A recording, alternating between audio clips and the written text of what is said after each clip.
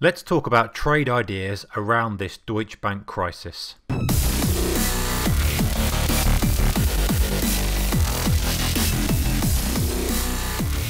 Hey, very good evening to you traders. Mark, welcome to your daily trading video. Okay, a little bit of a background. Um, Deutsche Bank is in trouble. Put it in a really short sentence. They've got about 16 billion or 17 billion of equity and 163 billion of debt. There's other factors involved in it. Go and have a Google, have a look round, and um, look at some of the economists' approach and analysis of it as opposed to mine. But I'm just looking from a trader's perspective. If we look at what happened yesterday, now news came out. This is Deutsche Bank. This is the ADR. So this is the US traded one. This is much easier to get a quote on than if you haven't got a subscription to a German stock feed from Frankfurt. You can get the ADR, which is good enough. Um, in the US. At about this sort of time, if you look here, we've got 25 past 5. It came out that a lot of the institutions were pulling their money or were stopping the credit. Now, this is the thing that causes the crisis or causes banks to fail. It's not necessarily retail pulling the money out from a bank run, which obviously well, that doesn't actually help, but it's when other banks won't lend or when other banks start to pull capital, when other banks start to be concerned about counterparty risk. So this news came over the wires around this time, and Deutsche Bank, as you can imagine, started to get absolutely hammered. And it was down about 9% at this point. I think it ended the day down 7%. Really, really bearish chart, anyway, regardless of even the small bounce off the bottom.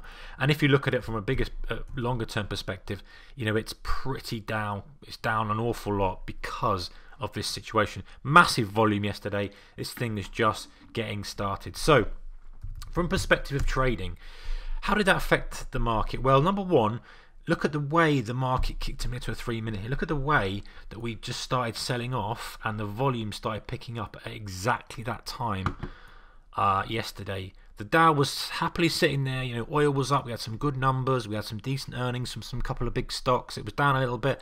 It, it was all poised for a little bit of a ping pong back and forth and a bit of a rally up. And I'd actually positioned for that yesterday. Go and check out the video. Um, but you know, look at this volume kicking in here. Volume came in just as the Deutsche Bank news hit and we just crumbled and crumbled and crumbled. And that's just institutions just hedging off exposure, selling futures across the board. Obviously, the DAX is the one that's going to be hit more because it's the German uh, index. It's going to is relevant to Germany, and and Deutsche Bank is a constituent of the DAX.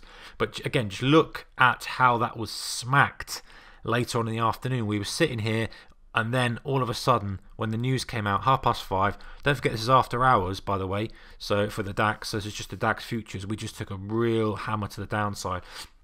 So what's what's the play on this? Well, the, the, the way I'm looking at it is this: you've got Deutsche Bank is in trouble, and the way out of this is for the Germans to bail them out. The trouble you've got is that with the elections coming up, it's almost political suicide for Merkel to bail out Deutsche Bank now. However, the pressure is going to be put on the stock and on the government to bail out and so, is there enough time? You know, this is this is where the trading interesting gets from a trading perspective. Pressure is going to be put on the stock. There's going to be continued downside pressure on the market until an announcement is released. But if they do that, of course, then domestically, how does that sit with the voters, with the with the um, with the electorate? So, um, and also the other other issue is the bigger repercussions of contagion. You know, does it affect other European banks? This is the unknown thing. This is why we're getting such a, an aggressive selling and hardly any bounce in Deutsche Bank. So, from let's look from trade perspective. Trade perspective, the number one thing you want to be doing is having a, a, chart of Deutsche Bank up on your screen. If you're day trading it, or even if you're not, it's just seeing what is going on.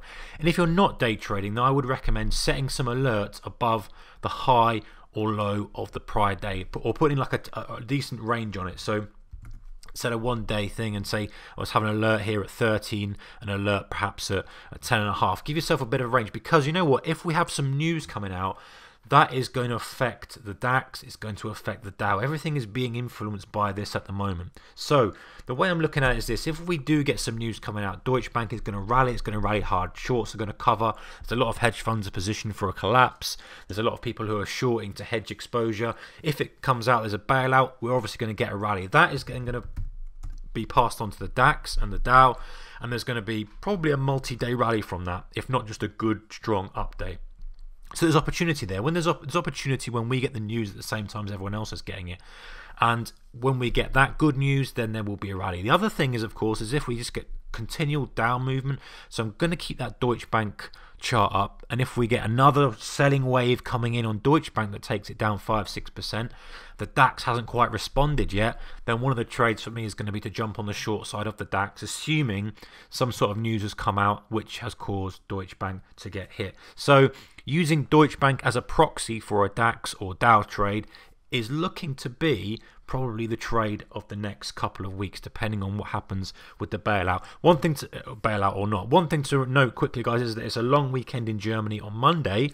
So Friday today, what's going to happen? Are we going to get people hedging, worried about something over the weekend, or other way around? Do we get people positioning, expecting there to be some sort of news? So definitely keep Deutsche Bank up on your watch list. DB is the code if you're you can look at the US ADR, or if you're using IG um, or one of the others, then you can just look up uh, on the German feed and just put in Deutsche Bank just to keep an eye on what's that. Set some alerts, and that's good enough rather than having to be abreast of all the news. The stock is going to tell us exactly what's going on. So, have a great trading day today. I hope you had a great trading day today whenever you listen to this. Have a great weekend, and I'll be back with another video on Monday. Take care.